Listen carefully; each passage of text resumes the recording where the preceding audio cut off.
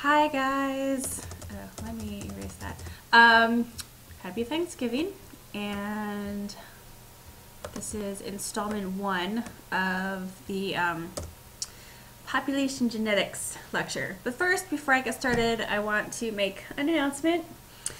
Um, just because we're not in class doesn't mean I don't have announcements. There is a new course that is being taught by Dr. Powell, who normally teaches ecology on um, ecology and evolution of societies. And since he studies ants, he knows all about animal societies. And if you are interested in um, ecology, evolution, organismal biology, that might be a great course for you. I don't know when it's being held. That is not on the flyer, but if you look it up um, on the course schedule, that should tell you. Um, so, yeah, okay, moving on. All right, so today we're talking about population genetics. And to start off, I'm going to start off with a story. So, once upon a time, there was a species called the bighorn sheep, and they're not sheep, but they do have big horns. And um, these are these iconic animals of the western mountains, and they have these the males engage in this dramatic male combat where they bash their heads together and they even have like air pockets in their skulls to absorb the impact, which is a whole nother lecture.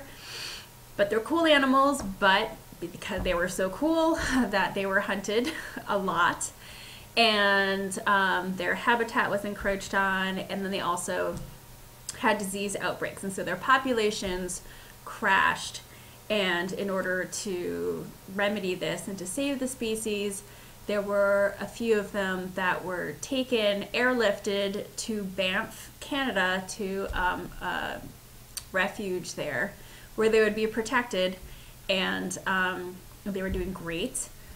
There were 12 individuals that started that population, and um, they increased their numbers to about 90, and then all of a sudden they crashed back down to half that. And um, in order to to address this population crash, um, a few more bighorn sheep were airlifted into that refuge, that wildlife refuge, and um, and now they're doing much better. So, population genetics is about explaining why that happened, the increase and the crash, and um, and why they're doing much better now with the influx of um, some new individuals from a different population. Um, okay, so what is a population? So a population is basically um, a group of interbreeding, interbreeding individuals. And, um, and another way to look at this from a genetics perspective is that this is um, a gene pool. If you want to boil a population down to the genetics, it's really a collection of alleles. And that's what population genetics looks at. It is focused especially on changes in allele frequencies over time. So what this means is that population genetics is essentially about evolution.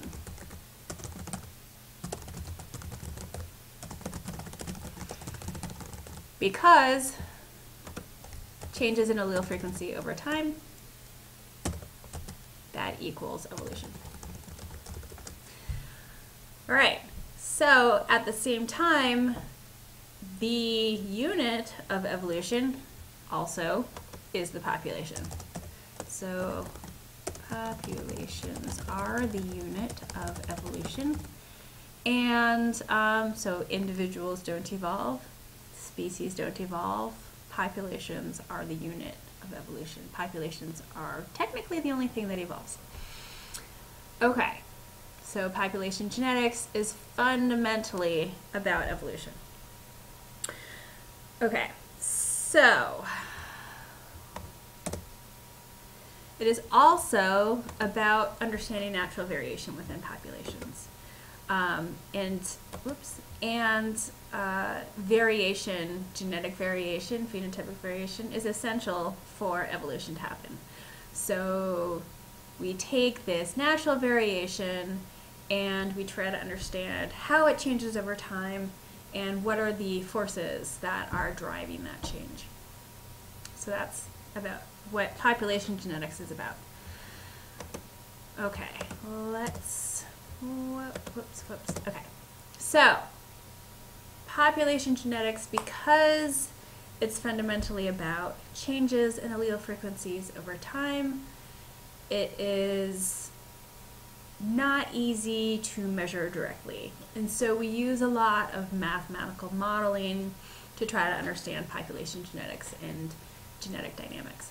Usually what people do when they study population genetics is they infer processes that happened in the past.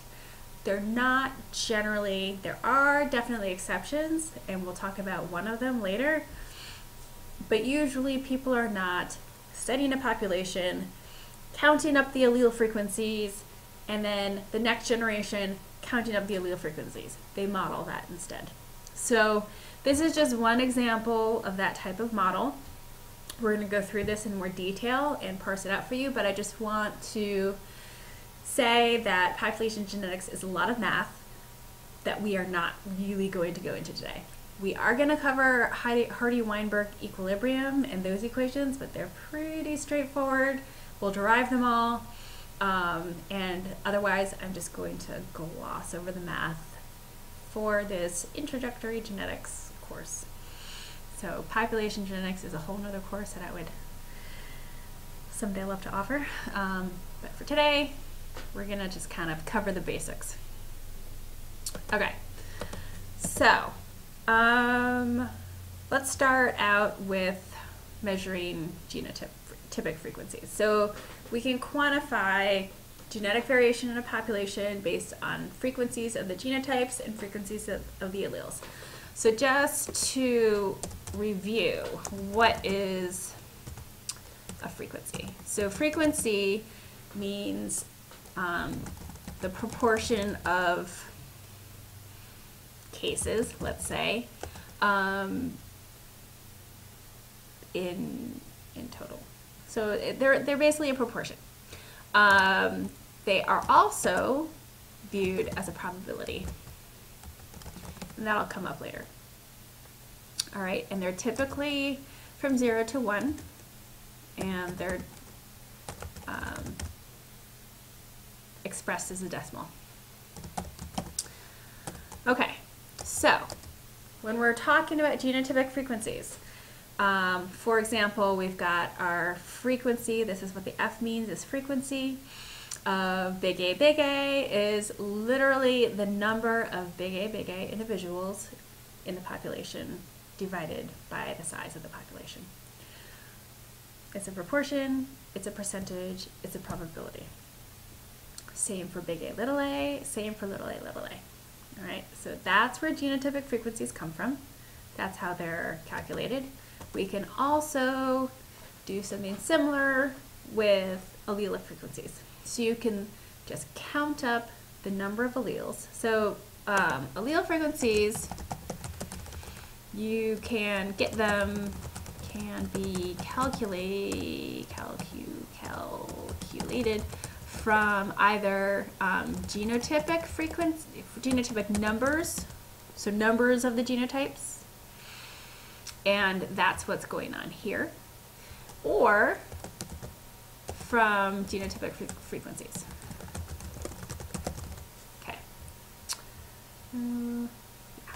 All right. So, hmm. okay. So, again, just like with the genotypic frequencies are the number of individuals of that genotype in the population divided by the population size the, the frequency of alleles. So typically we designate the frequency of um, one allele, let's say the dominant allele with a P, and then the frequency of the second allele, assuming we have a two allele locus with a Q.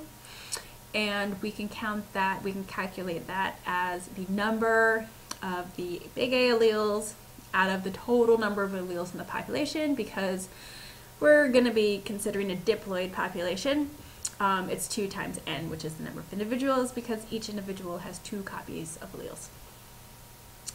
Um, all right, so another way to think about this, using the genotypic, the numbers of a certain genotype, is the number of individuals with a big A, big A genotype, plus the number of, times two, that's important, plus the number of individuals that, that are heterozygous. Now what this means is that we are counting for, let's say there's 100 individuals. So let's say um, the number of big A, big A individuals is 100. The number of the little a in individuals is, let's say 70. The number of little a, little a individuals is 30. All right. So the total number of alleles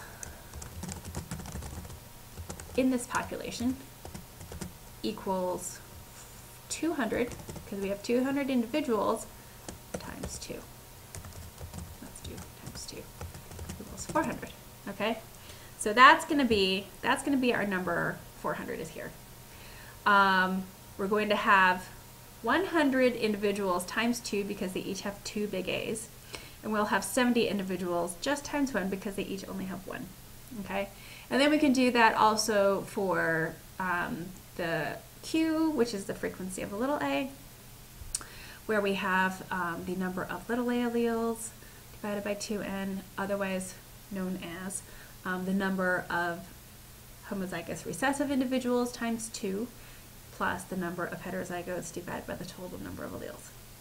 Okay, so that's calculating allele frequencies based on genotypic numbers. We can also calculate allele frequencies based on the frequency of the genotypes. So what this means, so this is what we've already seen in the last slide. This is also equal to the frequency of big A, big A, plus one half the frequency of big A, little a. And we have this one half here because we have half the number of big A's here as here. So in this case, we would, it would be 0.5. So here P would equal 0.5 plus 0.35 times 0.35 times 1 half, whatever that is, okay? So that would be your P. Okay, now, so um, what I want you guys to do is um, use this example to um, to calculate the genotypic and allelic frequencies here. So these are blood types and these are the number of individuals with various blood types and I want you to calculate the genotypic and allelic frequencies. And um, you can pause it now and do that. Um, and actually maybe what I'll do is just end this video here and then we'll go over the answer for the next one.